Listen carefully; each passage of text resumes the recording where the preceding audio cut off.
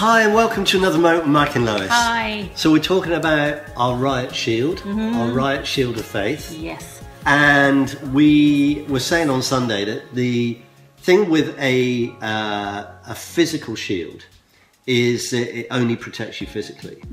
Whereas the shield of faith not only protects you spiritually, mm-hmm. but also physically. yeah. So when you're going through a physical challenge, a physical battle, you might have an illness and you know you're, you're fighting that illness. Mm-hmm. Your faith is the weapon Yeah. that will also not only sort out the spiritual, mm. but the physical. Yeah. And often the physical and the spiritual are connected. That's another message. It is.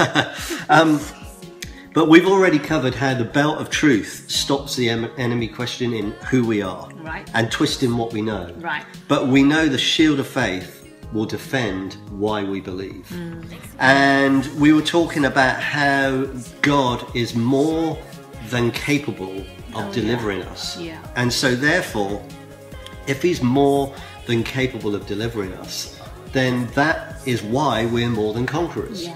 You know, the Bible doesn't encourage us to be something that we can be on our own. Right. It encourages us to be all that we are in God. Yeah. And so when we were looking at that story of Shadrach, Meshach, and Abednego, we talked about their story and we talked about how they had this incredible faith. They put their shield up mm. to go in that fiery furnace.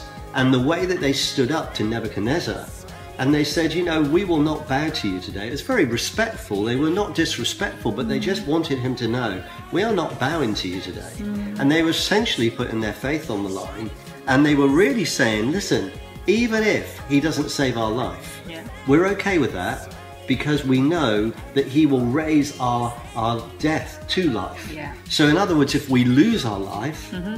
Well, we will also get life again because if we die doing this, having put our faith in God, he will raise us to life. Yeah. And they must have been at their weakest moment, Right. physically, and even you know having their spiritual, their faith attacked. But it's when we're at our spiritual weakest that God is at His strongest. Right. And we see that, don't we? In so many situations, we we think that we can't do this anymore. I just can't face this anymore. I just haven't got it in me. Yeah, you do. You do have it in you. Exactly that. You have got it in you, not by your strength or by your might, but by His power. Yeah. Because we're more than conquerors. Because He is more than capable. Yeah. And we know that our faith defends our beliefs. Yep.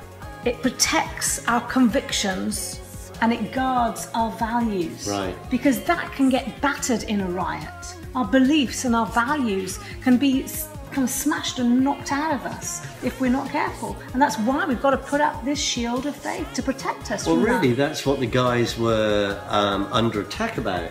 You know, the three guys we were Yeah. talking about. Because really, essentially, what Nebuchadnezzar was trying to do was to, yes, he was trying to get them to bow down. Mm-hmm. Uh, but what was that saying? It was really saying, I want you to actually compromise your values. I want you to compromise your beliefs. Yeah. I want you to compromise your convictions. Yeah. And they had a choice there and then. Yeah. Are we going to compromise or are we going to stand up? Because it was all those three things and more that were at risk. Yeah. Which is why the riot happens in your head. Right. There is a riot going on in your head to try and make you compromise over what Yeah. you know that you know that you know. Yeah. What your beliefs are, what your values are, what you stand on, what you hold true to you, your faith. And that's, why this under attack. that's what's under attack. And that's why we have to put on all this armour and lift up the shield of faith. Like I said on Sunday, we need a faith lift. A faith lift. A faith lift. yes, we do. Got to raise a faith. So get a Yes. Mm-hmm. faith lift today. There we go. You never had justification to get a faith lift before, but go ahead and get free. one because it will really help you.